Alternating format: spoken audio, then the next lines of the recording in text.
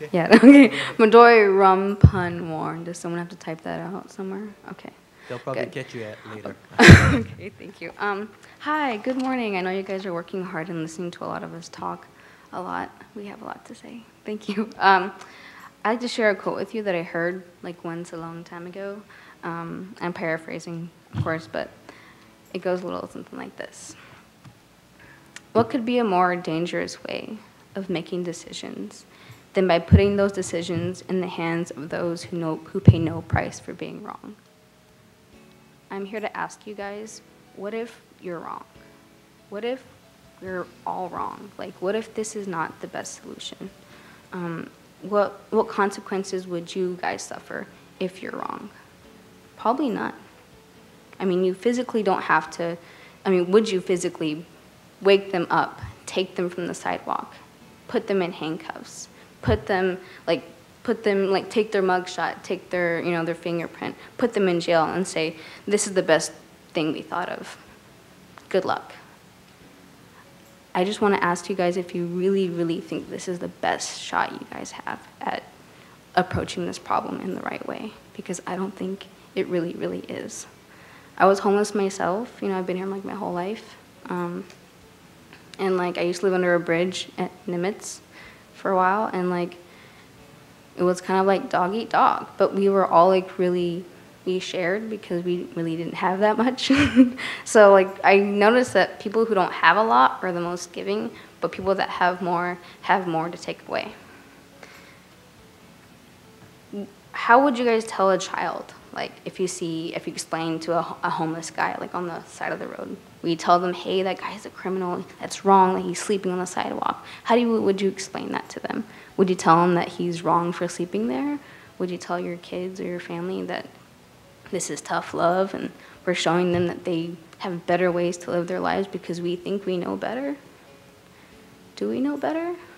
Do we really know better than that? Um, would you arrest a tourist sleeping on the sidewalk? Would you arrest him if he was like lying down, beat by the sun? You probably wouldn't arrest him because he probably is there like contributing to the economically healthy neighborhoods in Waikiki. Um, and with respect to homelessness, like I feel like when we dominate or even question the right for one to live as one would have a right to, um, I think that's not only a question about the right to public space, but also a question about democracy, because they don't get to have a say to what happens to them. We are, we are all here like trying to put decisions onto them that they don't even.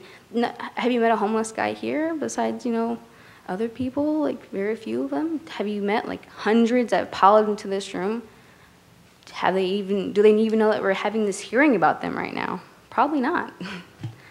So I, I really, really urge you guys to stop these bills or try a little bit harder. I mean, I'm not, I'm not saying you guys haven't tried hard at all. I'm just saying that there's got to be a better way. How, what have other states been doing or other nations been doing to help with this problem? I heard once in Thailand, like, I'm half Thai. Um, my, like, I'll finish up in like a few minutes, sorry.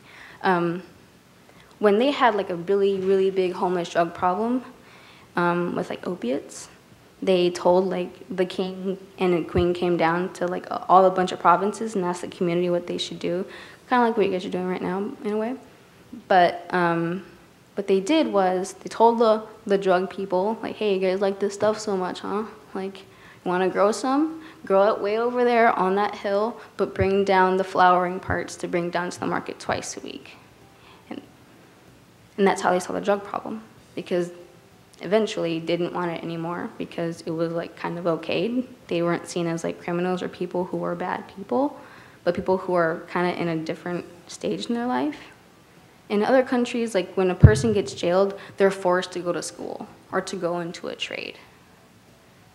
But here, like they're just forced to get in jail and then they get tossed back out. Like if you get tossed back out, like you're just out there in the middle of the world and and then you have to think to yourself, this is the best my civilization, my civilization, my society has got for me.